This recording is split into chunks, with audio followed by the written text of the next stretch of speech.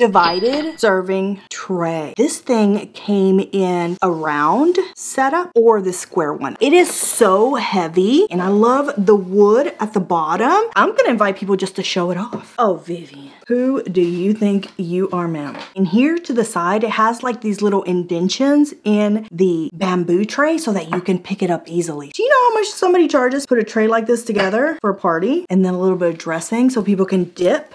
Oh, Who is the hostess of this fancy ass party?